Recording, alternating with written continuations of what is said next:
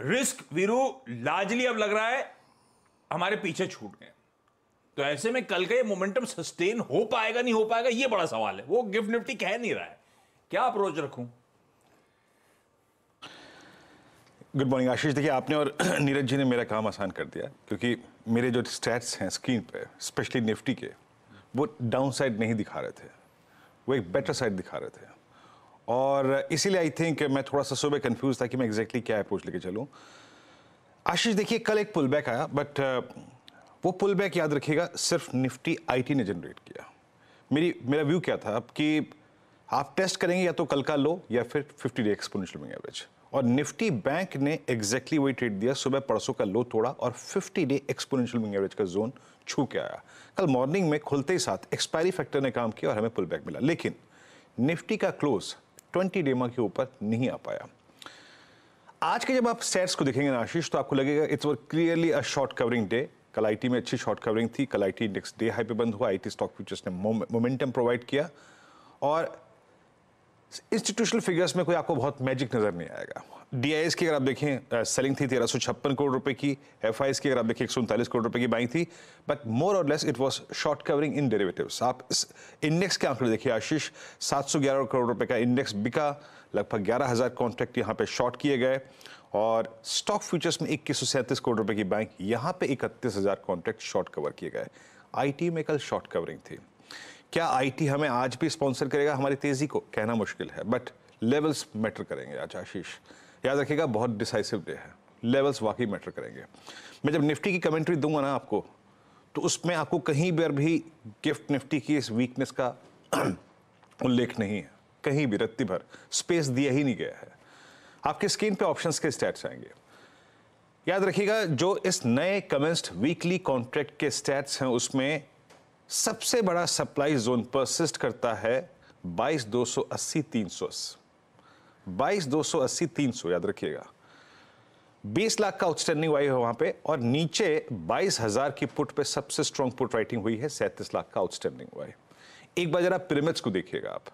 Pyramids में ये clearly visible है कि कल बाईस हज़ार की पुट पे काफ़ी एफर्ट किए गए हैं, काफ़ी पुट राइटिंग हुई है वहाँ पे। तो बाईस हज़ार आज के लिए बहुत क्रिटिकल डे है। आशीष वाइल्ड ब्लू कैंडल और कॉल आइटस का जो कंसेंट्रेशन है, वो बाईस दो सौ पे है, तीन सौ पे है। बट फॉर मी वो ज़्यादा मीनिंगफुल है एट बाईस दो सौ अस्सी, तीन सौ। लेवल्स लेके आइए। देखिए, आशीष ने और नीरज जी ने बहुत सारे, अगर आप देखें फैक्टर समझा दिए आपको।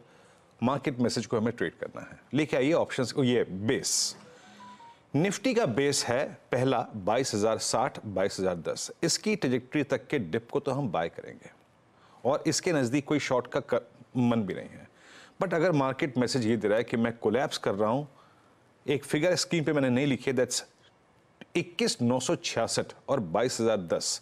उसके नीचे अगर निफ्टी ट्रेड करे तो समझ लीजिएगा आज या फिर नेक्स्ट वीक पॉसिबली हम एक बार फिर से इक्कीस आठ सौ पचास पे जा रहे हैं।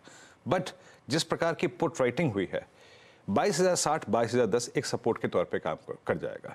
यहाँ से हम एक पुल बैक ट्रेड ले सकते हैं। ऊपर की तरफ़, याद रखिएगा हर्डल वही है that ten day twenty day exponential average वो आता है बाईस एक सौ अठहत्तर पे, बाईस दो सौ उनतीस पे।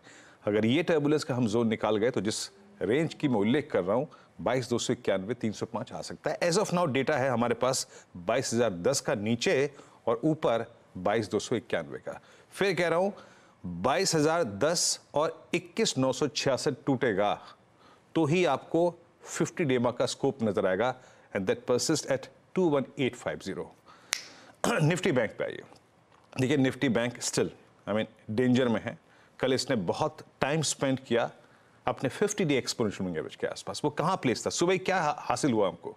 लेवल था छियालीस छः वहीं से रिकवर कर गया। बट ऊपर नहीं चल पाया।